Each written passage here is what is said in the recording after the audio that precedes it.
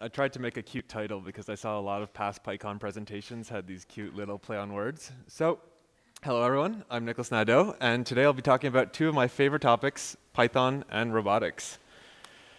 So, why robotics? Well, we're currently in the Industry 4.0 era of manufacturing technologies. Data exchange is everywhere. Every robot motion, joint angle, force is being recorded, analyzed, and um, processed. And with the advent now of collaborative robots, such as Sawyer and Baxter, uh, humans don't need to be physically separated from robots anymore. They could work side by side with their human coworkers. And this is a whole new paradigm shift in terms of robotics because now it's they're not caged anymore. And as we all know, Python is pretty good at pushing the boundaries of new concepts. So the costs of robots are coming down, and that's part of the reason we're seeing more and more robots out in the field in uh, small and medium-sized enterprises. And for example, Kickstarter is hosting a bunch of robots that are a few hundred to a thousand dollars. So that being said, what's the difference between this UARM on SparkFun for about a thousand dollars and this $100,000 KUKA collaborative robot? Well, the KUKA robot is uh, designed to be run 24-7 for decades. It's reliable, it has much stiffer joints, uh, very high quality gears, going to make it more accurate. And to put things in perspective, today we're talking about industrial robots like this. Unfortunately, not these fun guys in my presentation.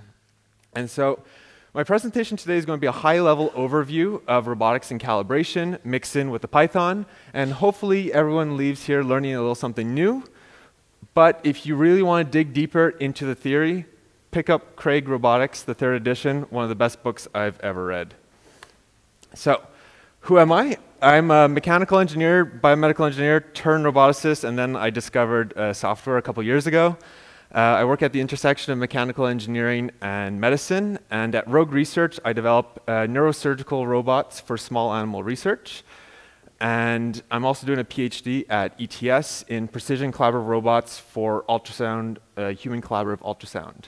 And this will be my first PyCon coming up, and this is my first Python meetup. So if there's one thing I want everyone to leave here today knowing, it's the difference between accuracy and precision. Precision is another term for repeatability. Robots are really good at that. Given a taut pose in space, tell the robot to go back to the same pose over and over again. And usually most robots, industrial robots, it's measured on the order of microns.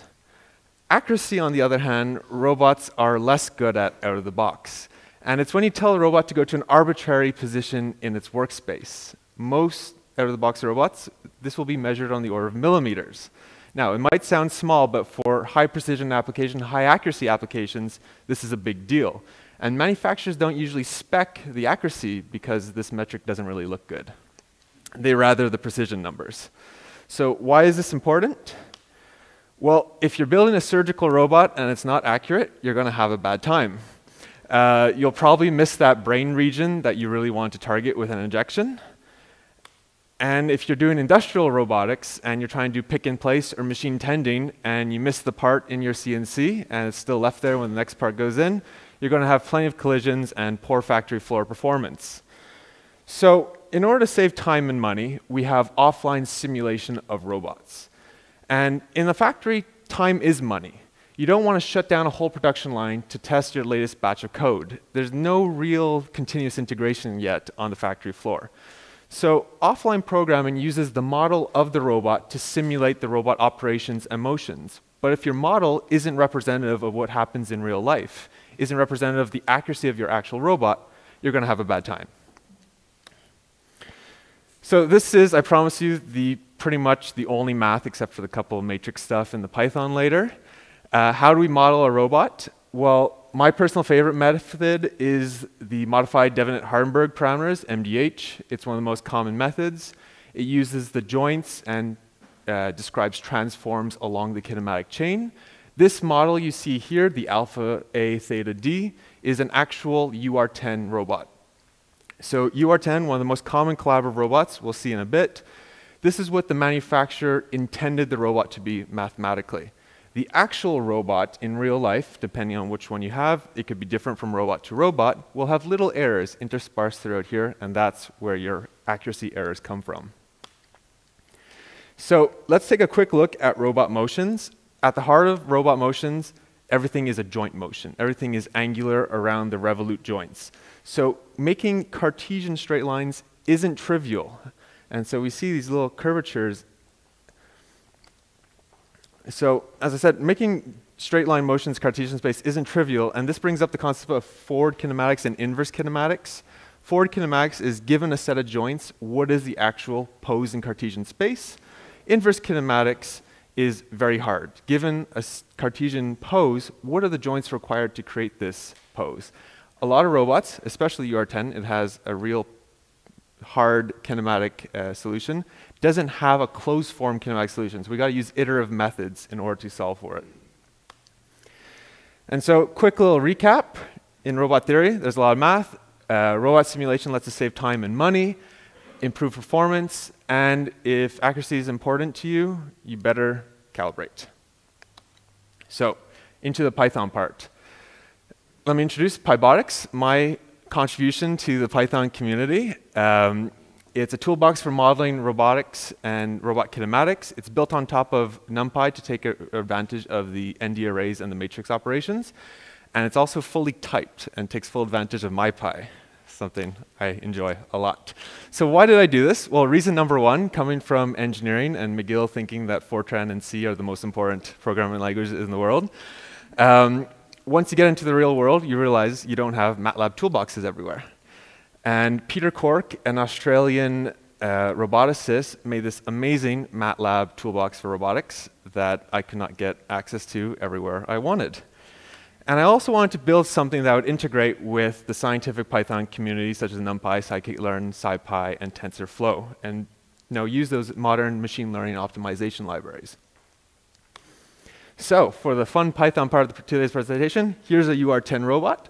I couldn't bring it here today from my lab because it's expensive and a little bulky, but we're going to look at real data from real robot that I recorded not too long ago. And so this is one of the most common cloud robots in the world. The company Universal Robots was just purchased by Teradyne for $500 million. They've only been around uh, 10, 12 years. They make three robots, exact same robot, three different sizes essentially. This is the biggest size, and they sell about 1,000 robots a month.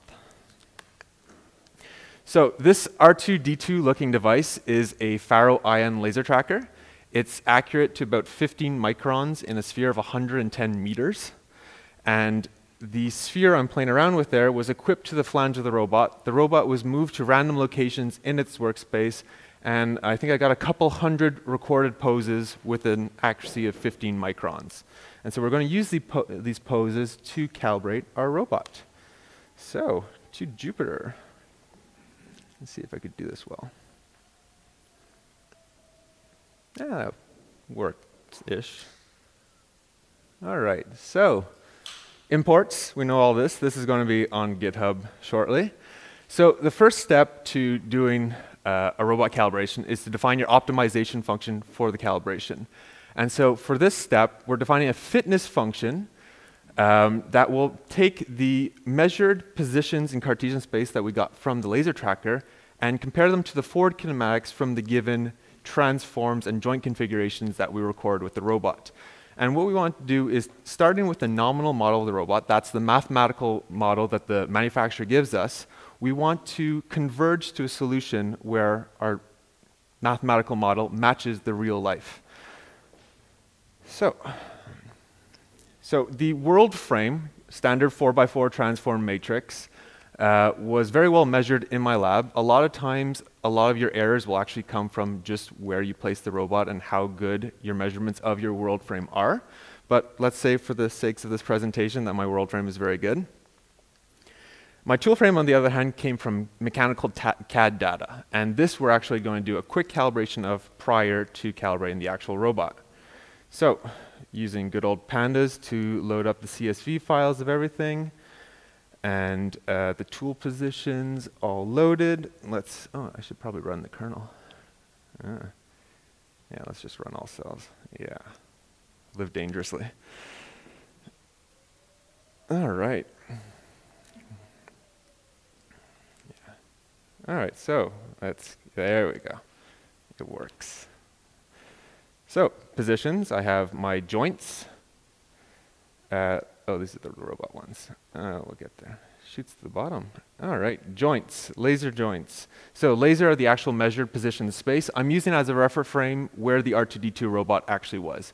A lot of times you might create a second world reference frame that's more rigid than a robot on a tripod, but for the sake of this, the reference origin was the robot, itself, the uh, laser tracker itself. I measured 151 uh, robot poses. This is the tool transform. This is the nominal tool transform because I had to have the robot move and point towards the laser tracker with each motion. Using the nominal, the laser tracker is still able to find the, the sphere. And this is what the random points in the robot space look like. The hexagon at the bottom is where the robot's position. The laser tracker is where the triangle is. The blue dots are the randomized joints in its workspace. If this was a research paper, a reviewer would tell me that I'm biased towards one side of the robot. And in order to prevent overfitting, overfitting, we want to put aside a set of data. So we're going to validate the robot's calibration with 30% of our data after optimization and calibration, while calibrating with 60 66% of our data. And the nominal model. So the initial errors, given a robot out of the box, a UR10 robot has errors on the order of 5 millimeters. And so this is what that looks like. So even though the robot itself, I'm pretty sure UR quotes about 250 microns repeatability, if you tell a robot to go to any arbitrary position in space, it might be off by up to 5 millimeters which is actually quite dangerous for collisions when you're offline simulating your production line or trying to do surgeries because there are a lot of, since it's a low cost robot, there's a lot of researchers trying to use it for even neurosurgery these days. In research applications, not the hospital. Don't worry. so, we want to reduce the max error below a th certain threshold. And we're not using the mean error because you can still have a very high max error and your mean be really good. We want the max error be below a certain threshold. That way, when we're offline programming, we can be very certain that all our motions will be below the threshold. And so, first step, we do a quick tool calibration. So I move the robot to some very basic joints, just using the wrist of the robot to very much isolate the tool transform. And Pybotics introduces a concept I came up with called the optimization mask. So using SciPy and the optimization libraries, you have to send in an ND array of just the parameters you want to optimize. But the robot could have up to hundreds of parameters that are composed of the kinematic chain, the tool transform, the world transform, and any other transforms they have along your forward kinematics. So the mask allows us to retain all those parameters, but only extract the ones we need when performing the calibration. And so this is pretty simple. We just have a world frame. So we have the six dimensions of a world frame. The kinematic chain in uh, MDH parameters, there are four parameters per, per link. There are six links on this robot, so we have 24 parameters for the robot. And the tool is just another 4x4 transform, so we have six parameters right there. Time to calibrate. We have our fitness function from before. We have our tool calibration robot model, the joints recorded for the tool, the positions recorded from the laser tracker, and we do a calibration. This one is pretty quick, and let's see the difference. So just from the mechanical CAD data, which is usually pretty accurate, but apparently I didn't mount and screw things as accurate as I thought, we have a couple millimeters of error right there in our tool transform. So that's step one. Step two is to do the actual robot. Same idea, we're optimizing just the robot now. We closed the, the optimization mask to the world frame and to the tool frame. We're masking just the kinematic chain. You'll notice there's a couple falses in here. There are redundant parameters in the robot way outside the scope of this presentation.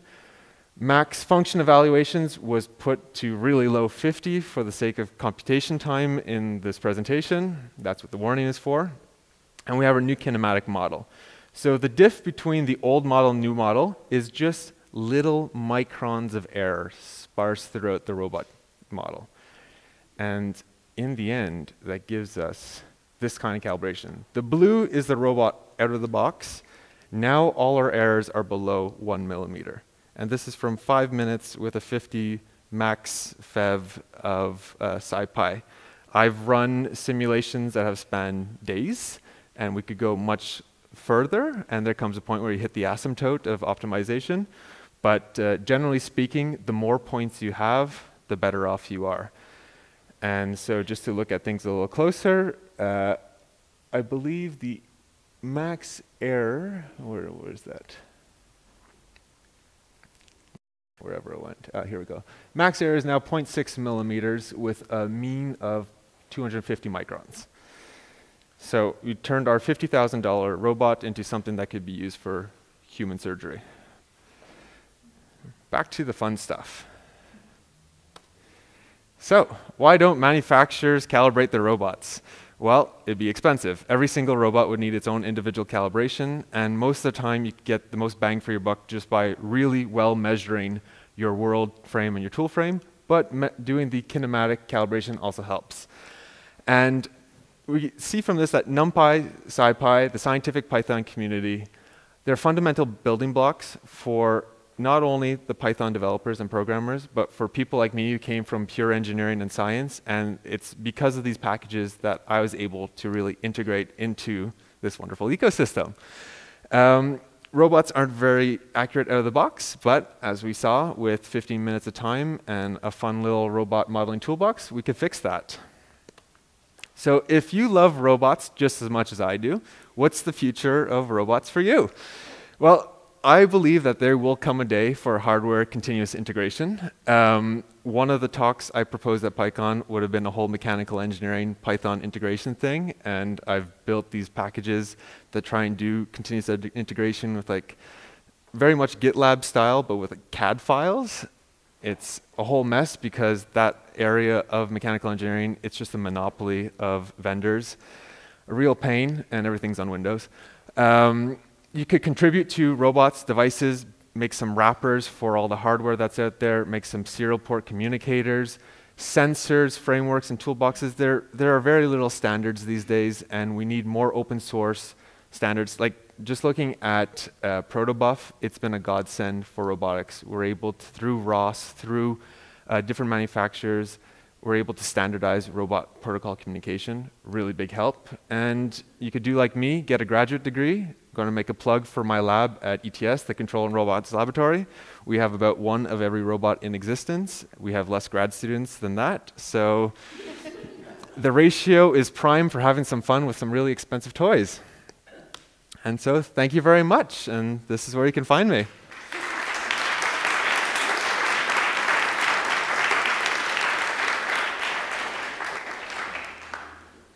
All right, so I'm apparently going to repeat all the questions if you have any questions for me so that they in back could get it. Uh, English or French, I'm good with both. Don't worry about it.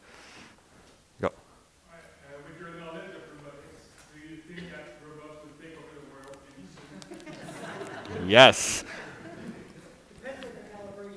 and no. Um, it's, it's funny because the, the potential is way out there for doing anything with robotics. And then you watch grad students program robots and you realize they'll break themselves before they get very far. um, we, were, we were doing the Amazon Pick Challenge in our lab, and the amount of times I heard the robot just crash into the table and it's trivial stuff like picking up packs of gum. You think it's trivial. It's not trivial. It's not trivial. So one day, yeah, but I don't know. I don't know what's first, AI or robots. We'll find out.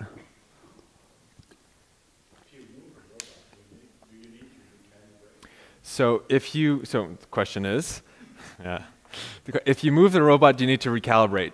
Um, Depends. The kinematic chain should stay constant if you calibrate it properly. If you drop the robot, then no.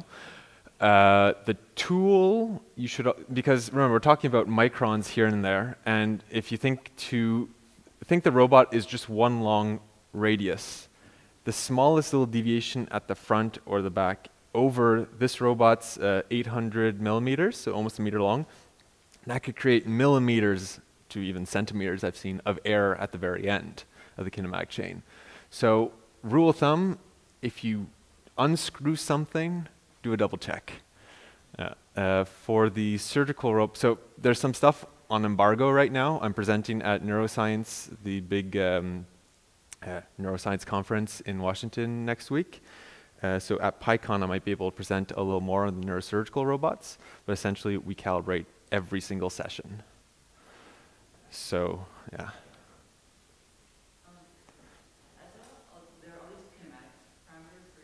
Yeah. Um, yeah. well, okay, so um, the question is, given the kinematic models of a robot, how do you know it's right? Let's. And how do you know what the model is? So getting the model is pretty easy. I'm going to use the right-hand rule of matrix transformations. You have your um, alpha A theta D transforms, and this yes, there are two parameters, for those paying attention, there are two parameters missing from that to make it a proper 4x4 transform, but there are certain assumptions to this that your chains in between are parallel. There are models that will take that into account, and that's even higher levels of calibration.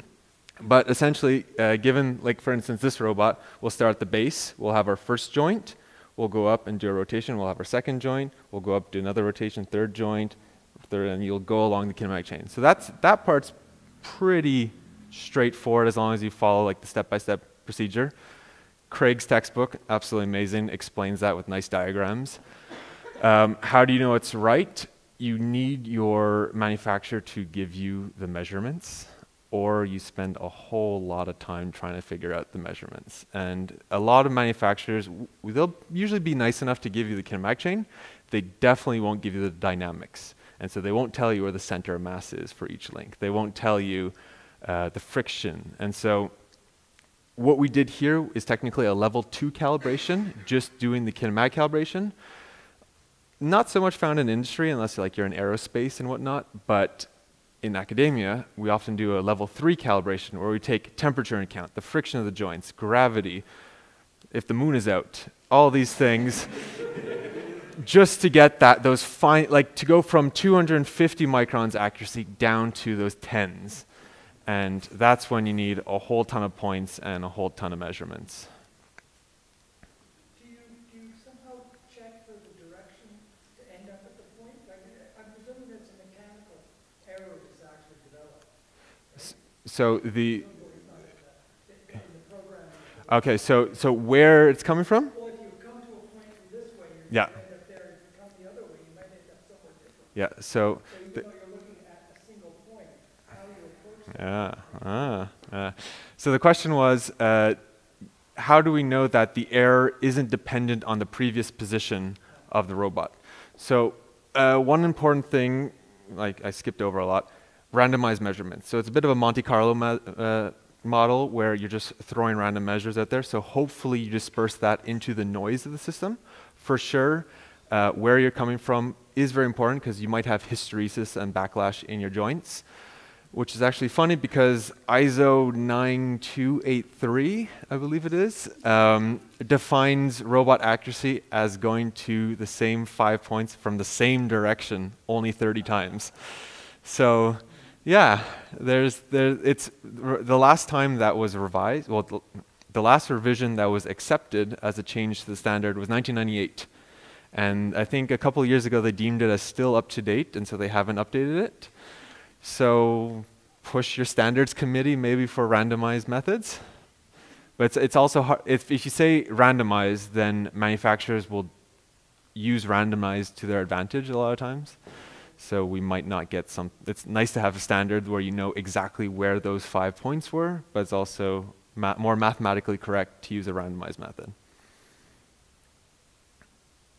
All right. Not yet, and I've I've been I've been spoiled. Um, so the question was, have I ever tried calibration on the cheap robots? Uh, I've been spoiled, that's for sure, with having access to these overly expensive industrial robots. Um, I would imagine that it would improve the accuracy, but as I said before, the biggest constraint with the cheaper robots is the stiffness. And even though th that is a level three error with, it's a nonlinear error, where your error will then depend on where you are in space as well. And that would require a whole other level of calibration to get very stiff. I saw this one is a white robot on Kickstarter that in the uh, their little cute video that they have to try and sell you the stuff, they were saying how accurate it was, and they had like this pencil-looking thing that the robot would go to, and in the video is off by like three centimeters. But they just they just skipped through that portion of the video so quickly that it's like, oh yeah, black magic. So it's stiffness. Step one, stiff robot. Step two, calibrate.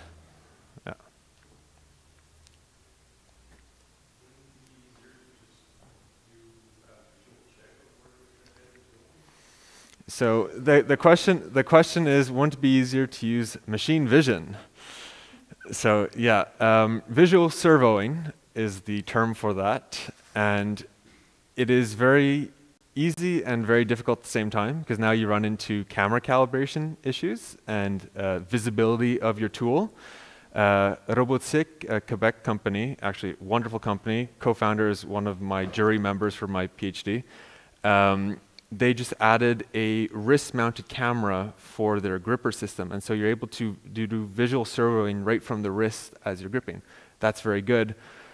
The, the biggest problem constraint I often find when I do machine vision applications, especially in uh, visible light spectrum, is your lighting conditions. And in a factory, you might have like floodlights and you could really standardize that. When I do medical applications, every OR is a different lighting condition and it drives me crazy.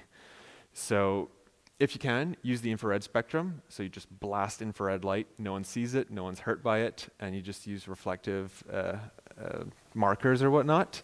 But visual servoing, it's yes and no. It depends on how it's set up. Uh, we have at the lab the Fanuc stereo vision system mounted on this big 80-20 frame. Took about half a day to calibrate. Absolutely wonderful. Only for this area.